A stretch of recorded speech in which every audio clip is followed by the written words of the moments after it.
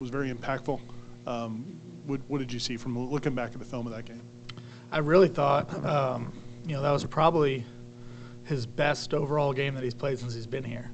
And, uh, you know, obviously some of the passing statistics aren't going to reflect that, but um, I did think he was impactful in terms of his pass rush. But the way he played the run was was definitely the best that, that it had been since he's been here in terms of um, being impactful, but also doing his job within the defense. And I think uh, you know he went into the game with the mindset you know of, of doing whatever he had to be, to do for, for the team to be successful. And uh, you know, I thought he played really hard, and I thought he played really well.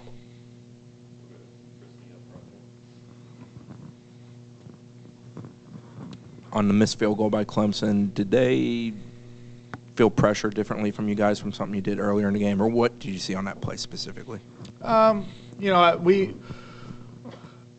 I was probably a little bit cautious on the first field goal attempt, just you know, with them having um, a a new kicker situation. Um, we were very fake aware on, on the first field goal attempt. But on that on that field goal attempt, I didn't think a fake was was necessarily something that would have a high likelihood of happening. So we went a little bit more to a traditional outside block.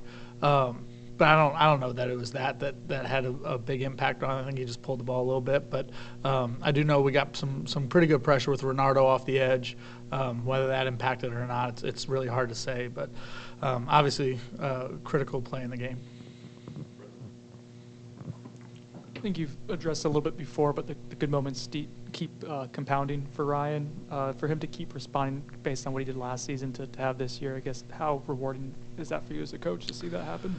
Well, you know, he uh, Ryan's done done a great job this year to this point. Um, you know, and he's he's I think he's handled everything like a pro. You know, whether it was when he wasn't hitting the ball as well a year ago, um, and really towards the end of last year, I thought he really did a nice job of responding, and I think that's just kind of carried into carried into this year. And um, you know, and, and he knows though you're you're one kick away or one game away from from you know people being back on you a little bit. And I don't think he worries about that. Uh, I think he's going to go out there and, and um, do the best that he can possibly do.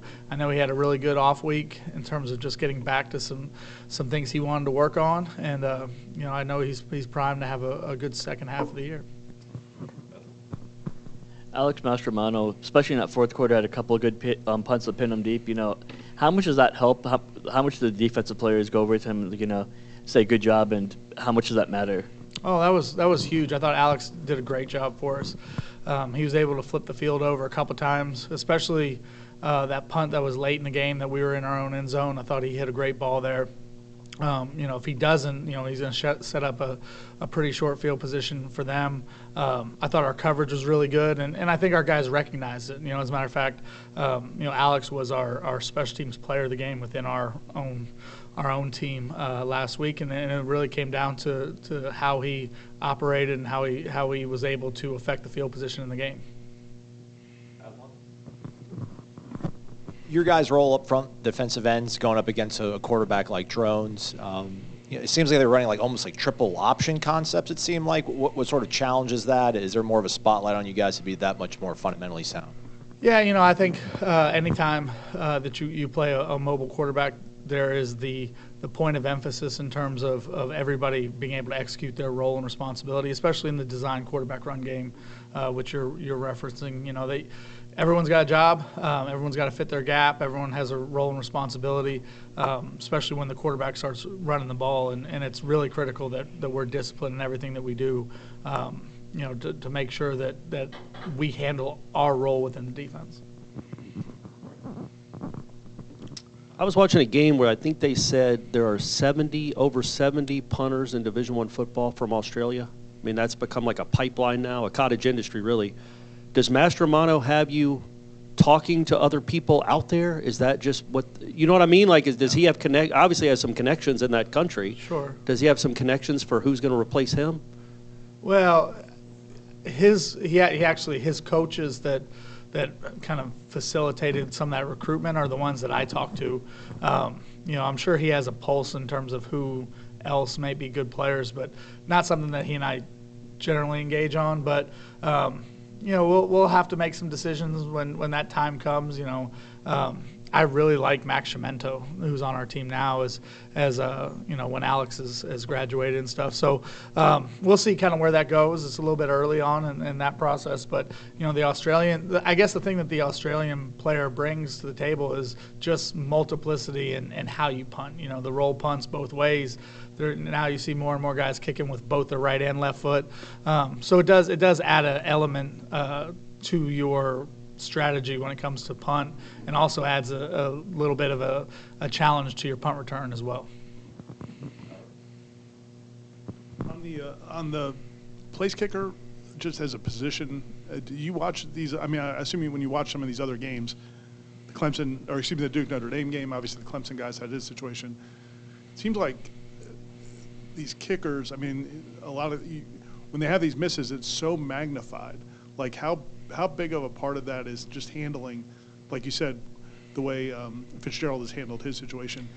Like, it- they- they all can kick or they wouldn't be on these teams, but handling that, how, how difficult is that? No, you know, I think I think uh, you know that situation, um, those moments that, that you're referencing, those are high pressure, high leverage situations, and um, you know you, you got to be in them to you know enough times in your career probably to to be comfortable with them. Uh, I don't know that anyone's ever totally comfortable in those moments, but um, you know, I think Ryan's done a great job of, of responding both positively uh, to positive moments and, and to moments that were negative, um, and just continue to focus on the next kick. But you're right, you know, there's a lot of games where that, that's what it comes down to, and um, you know, and we talk about it all the time as a as a team, as a as a program, as a staff, that you know you got to play every play because you never know which one is going to be the one that, that directly impacts the game. And uh, a lot of times it's those, those kicking situations that do, and you got to be ready for when your opportunity presents itself.